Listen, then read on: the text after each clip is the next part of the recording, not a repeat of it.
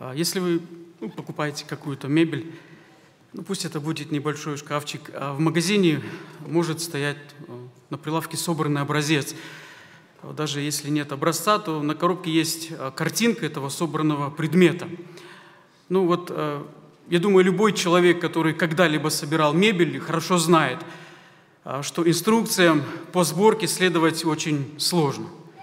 То есть вы открываете коробку, и даже если смотрите, читаете инструкцию, вы все-таки спрашиваете, ну как же во всем этом можно разобраться? А Нетрудно догадаться и о последовательности эмоций. То есть вы начинаете с большими надеждами, эта красивая картинка на коробке говорит вам, что это именно то, что нужно для вас, осталось вот только, только собрать. Но уже через полчаса а, борьбы уверенность уходит. Мы понимаем, что вот ну, это все, что здесь находится в этой коробке, должно иметь какой-то смысл, однако не всегда получается ну, собрать мебель. И вот как только мы это признаем, а боевой дух резко падает, мы не можем понять, почему то, что должно сочетаться друг с другом, не сочетается, ну и почему вдруг мы сами а, не можем собрать вот эту вот мебель, не можем исправить, не, не сможем поставить все правильно. И затем наступает момент, когда весь этот набор просто-напросто хочется выкинуть в окно. А очень часто, друзья, именно так мы с вами воспринимаем или переживаем окружающий нас мир. Нам кажется, а, что мир в целом – это то, что должно иметь смысл. То есть где-то есть вот эта вот ну, картинка, а, картина того, каким должен быть мир. Однако происходит все далеко не так, как мы ожидаем, как показывает а, в нашем, может быть, понимании эта картинка. А, Мир обещает нам много, может быть, заманчиво улыбаясь, рассказывая нам, как все будет хорошо или как все бывает хорошо, но хорошо бывает не всегда. Вот недавно я услышал фразу, с которой согласился и которую очень хорошо запомнил. А, Следующее, друзья, в необъясненном мире очень тяжело жить. В необъясненном мире очень тяжело жить. И поэтому мы не только ищем, а мы нуждаемся в объяснении вот такого мир, а, мира, как наш. А почему все есть так, как есть? Ну и есть ли возможность мне, для меня внести, может, какой-то творческий вклад, чтобы в таком мире, как наш, двигаться вперед? Я прошу вас прошу прослушать библейский отрывок. Мы будем читать из Евангелия Иоанна, 3 глава с 13 стиха. Евангелие от Иоанна, 3 глава с 13 стиха. «Никто не восходил на небо, как только сшедший с небес Сын Человеческий, сущий на небесах. И как Моисей вознес змею в пустыне, так должно вознесено быть Сыну Человеческому, дабы всякий верующий в Него не погиб, но имел жизнь вечную. Ибо так возлюбил Бог мир, что отдал Сына Своего Единородного, дабы всякий верующий в Него не погиб, но имел жизнь вечную. Ибо не послал Бог Сына Своего в мир, чтобы судить мир, но чтобы мир был спасен через Него. Но мы прочитали с вами отрывок, а, в котором находятся очень-очень известные вот, ну, слова, наверное, самые известные слова вот Священного Писания, а слова о любви Бога. И вот сегодня мы с вами попытаемся понять значение любви Бога для человека, который живет в таком мире, как наш. Значение любви Бога для человека, который живет в таком мире, как наш. Ну, я думаю, всем известно, не всем, может быть, многим, что вот в русском или английском языке есть только одно слово, а, одно слово, обозначающее любовь. А Новый Завет был написан на греческом языке, а вот, друзья, у греков, ну, было по меньшей мере, только по меньшей мере четыре слова, обозначающие любовь, а, что позволяло им очень легко различать романтическую любовь, привязанность к месту там, или к предмету, человеческую дружбу, товарищество и, конечно, щедрую, самоотверженную любовь. И все же, все же есть нечто очень важное, над чем стоит задуматься, когда речь идет об этом сложном слове «любовь».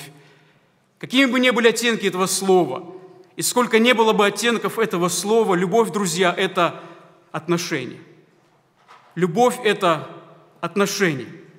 Речь идет о том, чтобы вырваться из себя навстречу чему-то или кому-то другому. Вырваться из себя каким бы образом или с какими кратковременными или долгосрочными целями, последствиями это не происходило.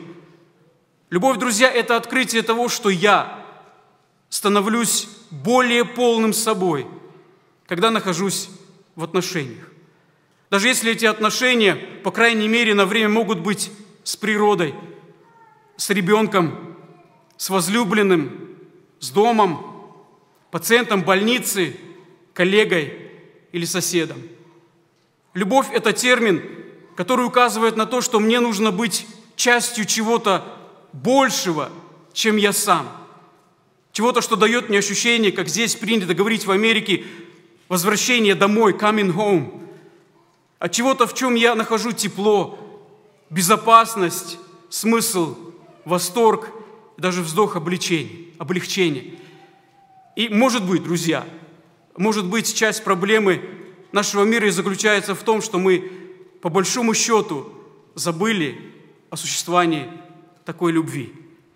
Нет, не забыли во всех отношениях, ну, послушайте там популярную музыку, почитайте популярные романы, просмотрите фильмы. Друзья, все это включает в себя очень и очень много чувственного. Однако при этом складывается впечатление, что люди ну, пытаются как-то организовать свою жизнь так, как будто любовь не имеет никакого значения. Как будто любовь является развлечением на стороне, а не центральной динамикой жизни человека. А вы знаете, вот есть литературные произведения, которые живут там а, столетиями. И вот люди читают, потому что вот в классике можно найти комментарий к нашему времени. То есть вот потому она и классика, друзья, что она выше времени и вне времени. Ну, может быть, вспомните вот трагедию немецкого поэта Иоганна Гёте, Фау, Иоганна Гёте, а, трагедию «Фауст». А если помните, в основе сюжета лежит договор, который вот Фауст, ученый Фауст, заключает с дьяволом. А Фауст может получить неограниченную власть, престиж, славу, состояние, ну вот все, что пожелает. Но когда все закончится, а его душа должна принадлежать дьяволу. А вот пока течет жизнь этого человека, пока идут его путешествия, условием для Фауста от дьявола остается следующее, что он не должен любить. И вот всю книгу там этот Мефистофель, он удерживает Фауста от любви. Желай, имей все, вот только не люби. А знаете, друзья, это не просто сюжет Фауста, а подумайте, это ведь в принципе комментарий к нашему времени. Желай, имей все, вот только не люби. А по крайней мере, отчасти именно поэтому, и может быть поэтому, друзья, любовь она нанесла, но если можно так выразиться, какой-то ответный удар – а другими и зачастую разрушительными способами. Любовь к родине превратилась в ужасающее национальное идолопоклонство и, как следствие, в насилие. Любовь к хобби или навыкам может превратиться до всепоглощающей одержимости. Влюбленность регулярно считается оправданием для нарушения брачных обещаний и разрушения семей. Отстранив любовь от других аспектов жизни, она возвращается с еще большей силой – и, к сожалению, в менее подходящих формах. Мы с вами очень хорошо знаем, друзья, что для того, чтобы быть человеком, нам нужны отношения, нужны отношения во всех уровнях. И мы хотим, как говорится, а найти настоящую любовь. Не банальную любовь в смысле популярного романа или песни, а вот что-то прочное, долговечное, абсолютно надежное и постоянно дающее жизнь. И снова, друзья, может быть, именно поэтому а, даже в современном циничном мире большинство людей любят праздновать свадьбу. Ведь свадьба снова и снова дает ну, какую-то надежду посреди мира разбитых мечтаний. Свадьба указывает на, на нечто гораздо большее, вот, чем она сама. В этом есть какой-то интересный парадокс. А, глубокая любовь, которая свела вот этих вот двух конкретных людей в этом месте, в этом сложном и требовательном обязательстве и отношениях, в конце концов мы понимаем, что это не только о них, что вот свадьба – это не только о людях, которые вступают в брак. Она все-таки касается всех нас и, может быть, касается всего мира. Ну или посмотрите на крайность с другой стороны. Это замена вот реального человеческого общения электронными машинами, а смартфонами и тому подобное. И вот сегодня вот эта вот замена человеческого общения электронными машинами – она широко рассматривается как ну, личная или социальная проблема. И, к сожалению, друзья, нет никого, кто бы мог узнать, что с этим теперь поделать. Итак, мы знаем, что любовь – это важно. И важно не просто как ну, чуть более удобное кресло, или, быть может, как лучшая пара обуви, а любовь важна, как вот пресная вода, которую можно пить, или чистый воздух, которым можно дышать после многих лет загрязнения. Однако мы понимаем, что любовь нам дается с трудом. И мы с вами, да, мы с вами причиняем боль людям, которых мы действительно любим. И все же даже среди всех наших разрушенных отношений есть проблески надежды. Надежда на то, что глубокая, прочная, подлинная любовь, она существует. И что мы с вами можем стать ее частью. Больше того, дорогие друзья, братья и сестры, это один из способов выразить суть христианской веры. Глубокая, прочная, подлинная любовь существует, и мы с вами – можем стать ее частью. Это смысл и суть нашей веры. И вот в Евангелиях, когда мы читаем повествование жизни нашего Спасителя, мы видим, как вот в этом захватывающем повествовании Бог Творец, Бог Создатель идет на все, чтобы проявить свою любовь в действии. Когда мы читаем, друзья, получается следующее, что даже сам Бог, да, сам Бог в важном смысле существует в отношениях. Даже Бог существует в отношениях. А любовь – это не просто то, что Бог делает, а самое сердце того, что Бог есть. По глубине а, значения в Евангелии Иоанна есть один, еще, есть еще один отрывок, друзья.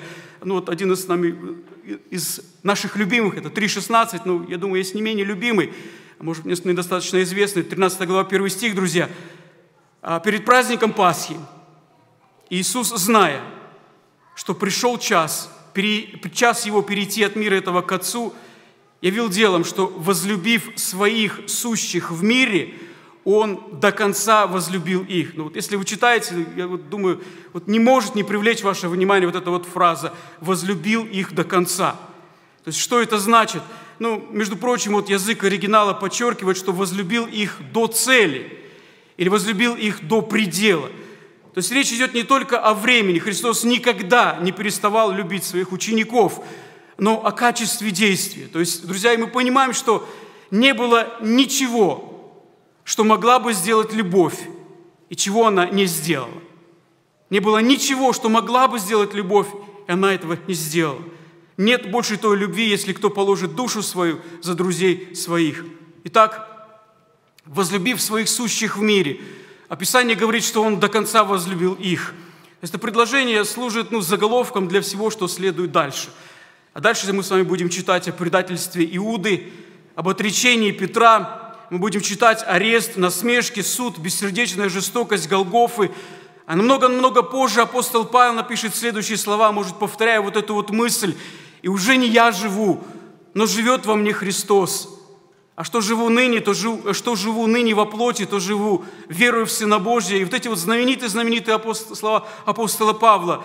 «Живу, верую в Сына Божия, возлюбившего меня и предавшего себя за меня». Да, Христос всегда любил. И его история, друзья, это история любви в жизни. Когда он обращался к Никодиму и говорил ему о необходимости родиться свыше, это действие любви.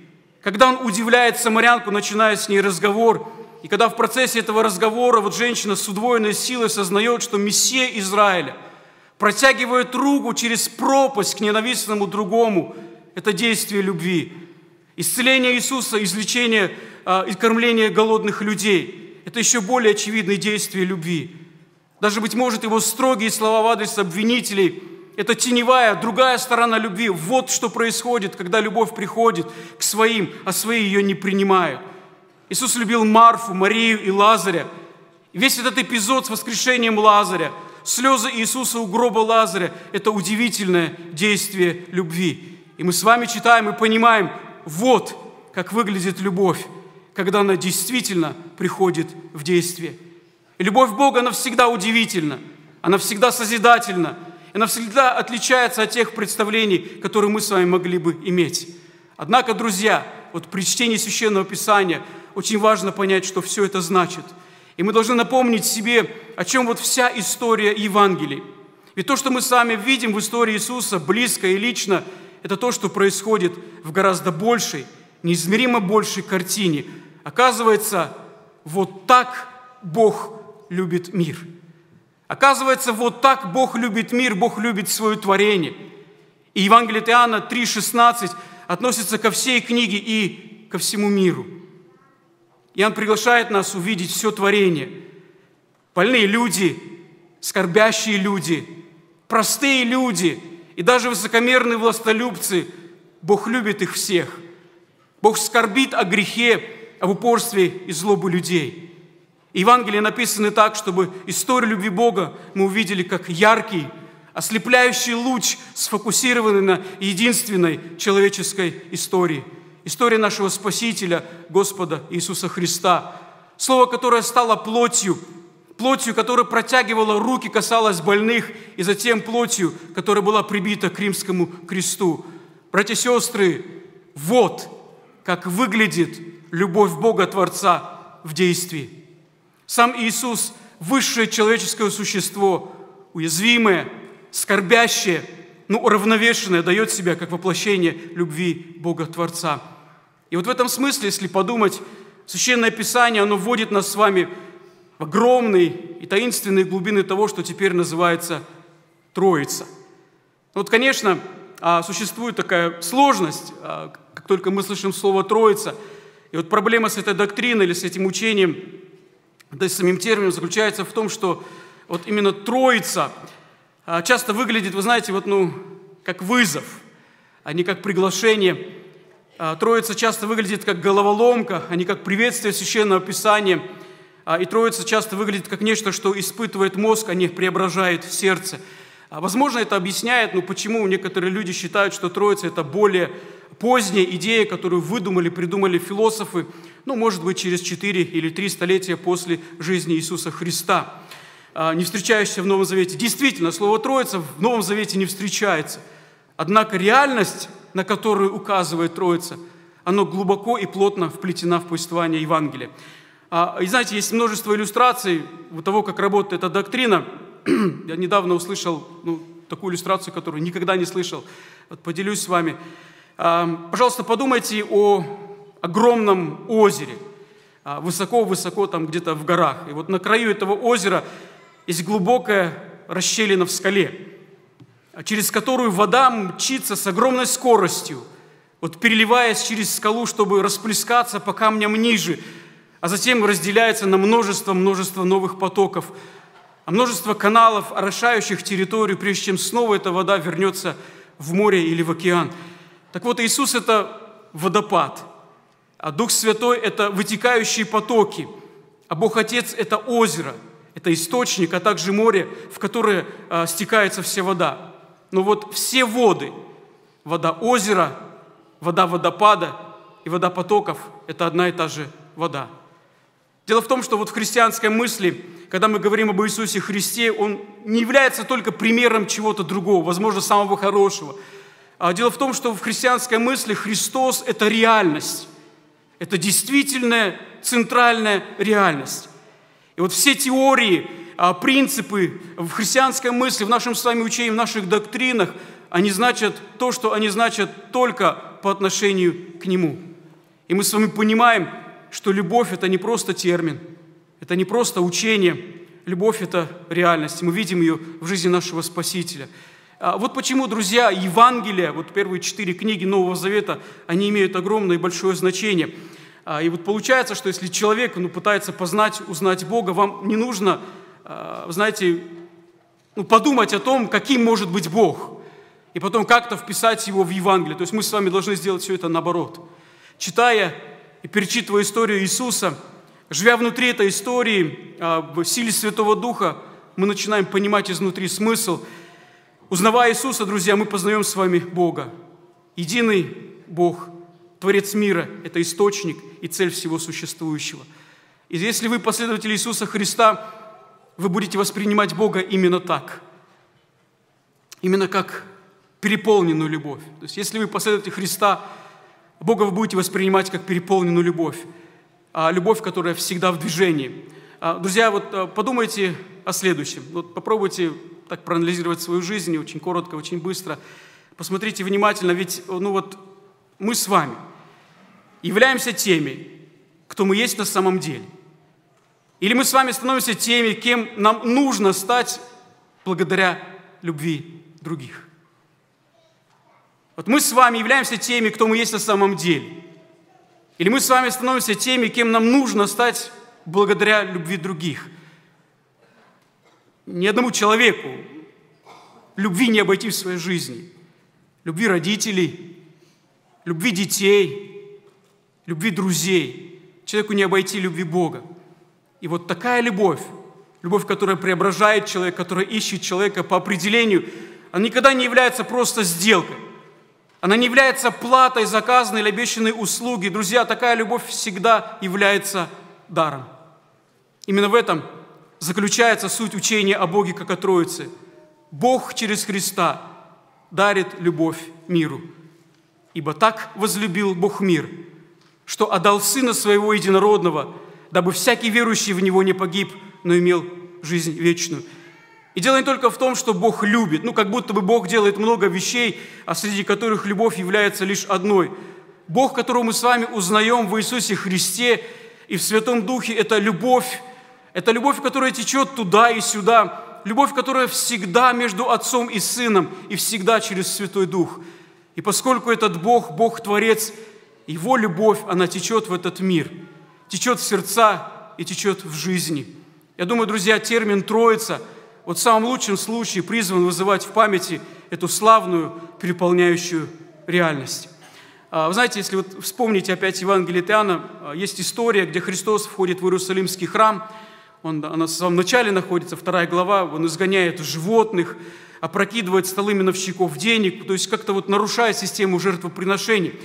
А, и дело было не только в том, что вот продавцы животных а, и менялы превращали вот Дом Небесного Отца в рынок, а вот все-таки на другом уровне смысл действия Христа заключался в том, что храм теперь будет заменен. То есть Иерусалимский храм будет заменен человеком – Христос сам об этом сказал во второй главе с 19 стиха. Иисус сказал им в ответ, «Разрушьте храм сей, и я в три дня воздвигну его». На это сказали иудеи. Этот храм строился 46 лет, и ты в три дня воздвигнешь его. А он говорил о храме тела своего. Когда же воскрес он из мертвых, то ученики его вспомнили, что он говорил это, и поверили Писанию и Слову, которое сказал Иисус. А, а получается, что Иисус Христос теперь является тем местом, а где и с помощью которого Бог Творец будет жить среди своего народа. Христос воплотит в себе живое присутствие истинного Бога. Он будет, если можно так сказать, воплощенной божественной любовью. А, почему это важно, друзья? Вот если проследить Ветхий Завет и вспомнить, ну вот самые высокие Божьи обетования, самые важные Божьи обетования, друзья, а, на страницах Ветхого Завета – Одно из самых высших обетований Бога заключалось в том, что я приду и буду жить среди вас. Ну, вспомните повествование книг Ветхого Завета. Друзья, это самое большое обетование Бога. Я приду и буду жить среди вас. Друзья, именно так выглядит божественная любовь. И вот теперь вот в Евангелии, в Евангелии Иоанна, мы видим Иисуса Христа как истинного человека, Слово, ставшее плотью. Помните 14 стих 1 главы? «Слово стало плотью» и обитала с нами. Полная благодати и истины. Мы видели славу Его, славу как единородного от Отца. А простите, еще раз скажу о языке оригинала, отмечу язык оригинала. Вот в русском языке вот написано «обитала». А вы знаете, вот люди, которые знают язык оригинала, они говорят, что ну, там немножко не то, что другое слово, то есть они подчеркивают особое значение или оттенок этого слова. А слово значит поставить палатку. Или если мы с вами знаем Ветхий Завет, установить скинь. Принципе, мы с вами читаем, Слово стало плотью и поставило скинию среди нас, обитало с нами. То есть Бог установил скинию в лице Христа. А вот когда мы с вами читаем о скинии, или когда мы с вами читаем о храме в Ветхом Завете, есть существенная деталь. Ведь скиния и храм никогда не должны были быть убежищем вдали от мира. Скиния или храм никогда не были каким-то безопасным укрытием пока вот этот вот мир вокруг вас, он катится в ад.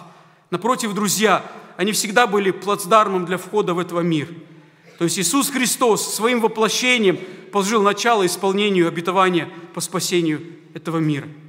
Итак, Евангелие основано на действиях одного поистине замечательного человека, который отдает себя безграничной любви своим друзьям и последователям.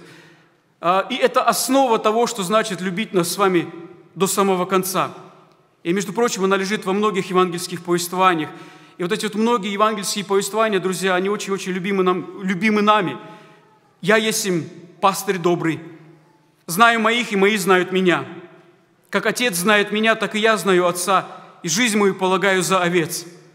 Овцы мои слушаются голоса моего, и я знаю их, и они идут за мною. Я даю им жизнь вечную, и не погибнут вовек. Никто не похитит их из руки моей. Отец мой, который дал мне их больше всех, никто не может похитить их из руки моей. Я и Отец одно. Но еще раз подчеркну, а, что Христос – это истинное отражение и воплощение самого Отца. Именно в это Священное Писание оно просит нас с вами поверить, и чем внимательнее мы изучаем Евангелие, тем больше мы в этом увидим смысла. Забота о людях, любовь, которую Христос дарит людям, вот что значит, когда Бог Творец приходит, чтобы быть с нами, чтобы поставить вот свою палатку среди нас. То есть мы получаем представление о том, какой является, каким является наш Небесный Отец. А, а, дальше я хотел бы отметить, что вот все эти маленькие детали о любви Христа, если читать, к примеру, Евангелие от Иоанна, они ведут нас к, э, повествованию именно о смерти Иисуса Христа. А, давайте вспомним отрывок из 13 главы со 2 стиха. Во время вечери, когда дьявол уже вложил в сердце Иуде Симонову Искариоту предать его, Иисус, зная, что Отец все отдал в руки Его, что Он от Бога и шел и к Богу исходит, отходит, встал с вечери, снял с себя верхнюю одежду, взяв полотенце, припоясался – Потом влил воды в умывальницу и начал умывать ноги ученикам и оттирать полотенцем, которым был припоясан. Ну, я не сомневаюсь, друзья, может быть, вот всякий раз, когда читаете этот отрывок, а, вы постоянно спрашиваете из себя, может, кого-то другого, ну что же это все значит? А, действительно ли вот то, что сделал Христос, это пример для подражания?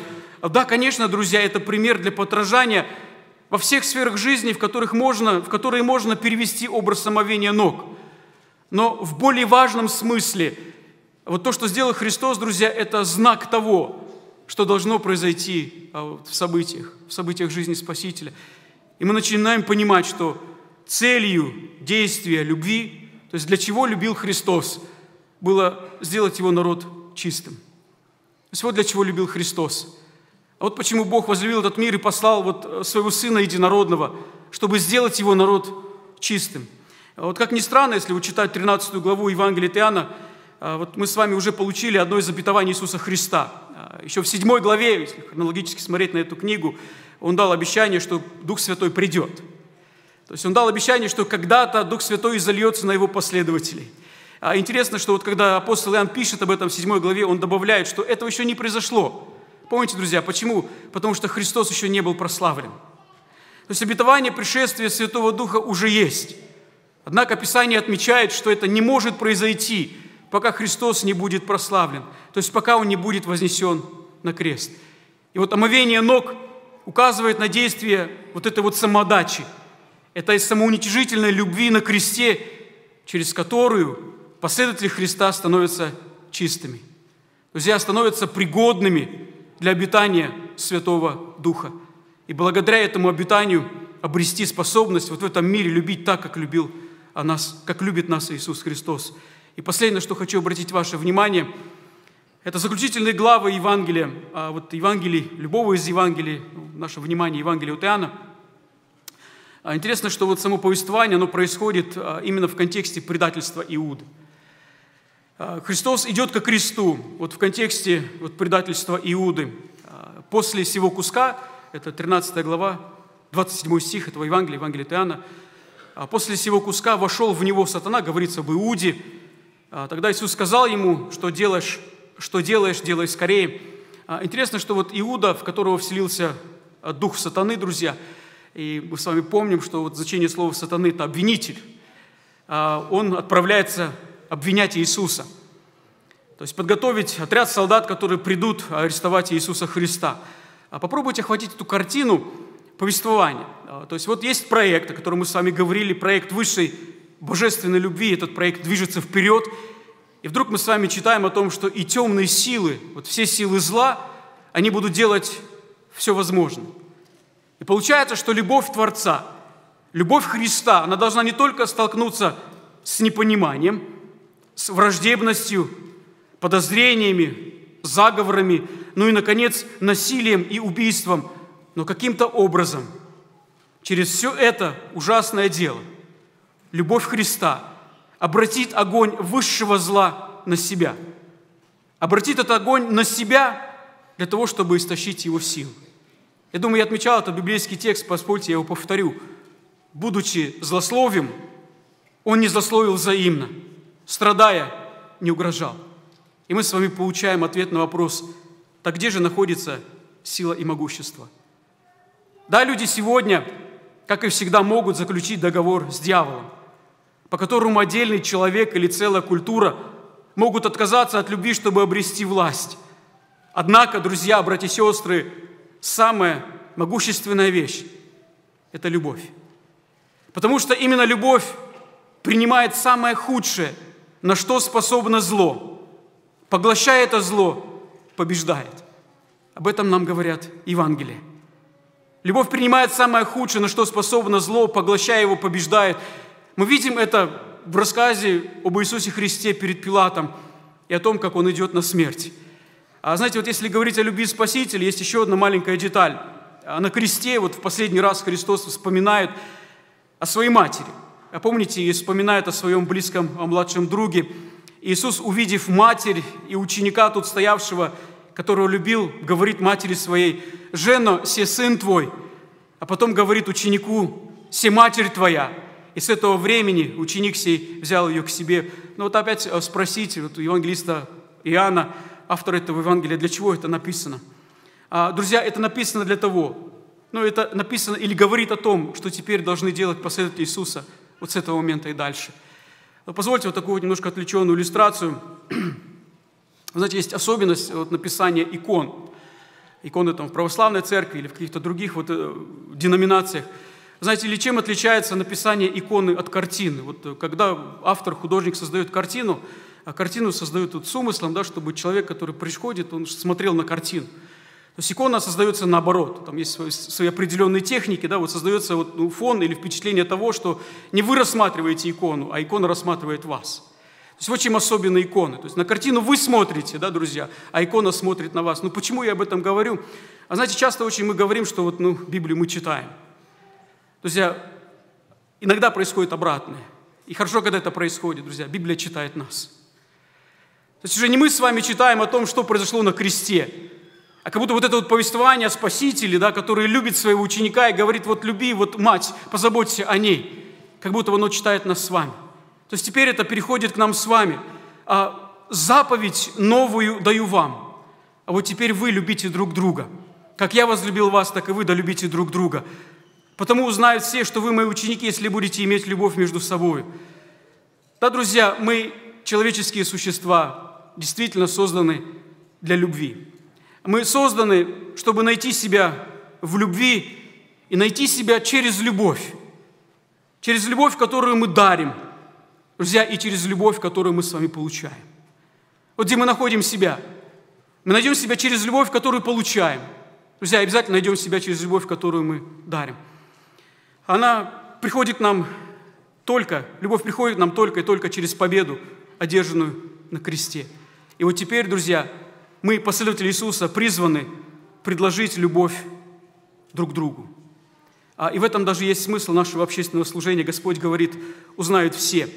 Мир увидит эту любовь и признает ее подлинной. Я прошу вас обратить внимание, вот 13 э, глава Евангелия от Иоанна, 35 стих – а, вот особенность вот этих слов. А, вот если вы будете любить друг друга, нам хотелось бы сказать, что вот, ну, все люди пойдут в церковь, вот увидят нашу любовь, они придут в церковь, покаются и будут жить вот, а, жизнью обращенного человека. Друзья, но здесь так не написано. Здесь написано, что они узнают все, что вы мои ученики. Нам хотелось бы, друзья, да, чтобы все было так просто. А чтобы вот увидели нашу любовь друг к другу, и вдруг все пришли в церковь, да, и оставили свои злые дела. Однако, друзья, дело намного-намного сложнее. Все намного сложнее. Это не сработает автоматически. Между прочим, может повториться жизнь Иисуса Христа. Пришел к своим, а свои не приняли Его. Однако, вот именно тот факт, что люди, которые заметят в нас, что мы ученики Иисуса Христа, они что-то узнают. Друзья, и то, что они узнают, это будет истиной. Понимаете? То есть не обязательно человек обратиться к Богу. Однако вот в мире обмана, в мире зла для человека вдруг засияет свет. И человек узнает истину. А согласитесь, друзья, это большой шаг. Это еще одна открытая дверь к сердцу человека. Пусть Бог благословит нас с вами в наших размышлениях, в нашем хождении перед Богом. Аминь. Я приглашаю вас к молитве.